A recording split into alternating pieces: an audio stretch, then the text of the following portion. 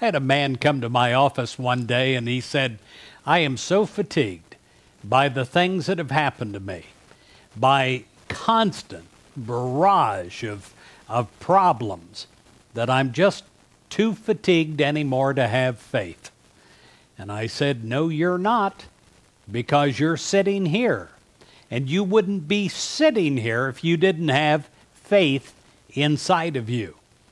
And the man had to agree that that was right.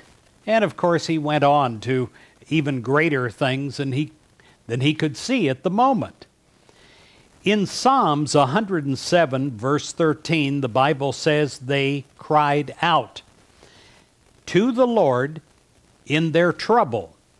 God saved them from their distress.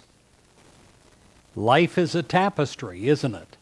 It's a tapestry of good days and difficult days. But for most of us, if we're honest, the good days overwhelm the bad.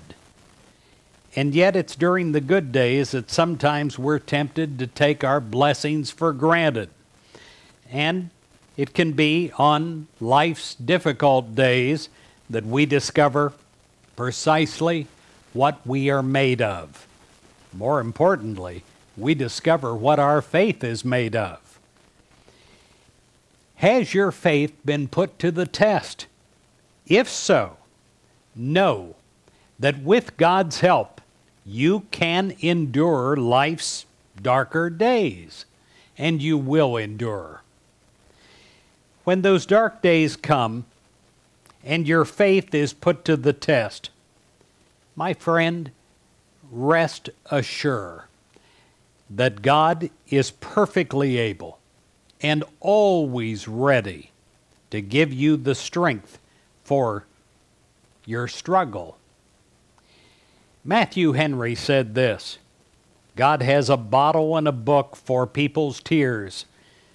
What was sown as a tear will come up as a pearl. And that's my prayer for you that your tears turn into pearls with God's help.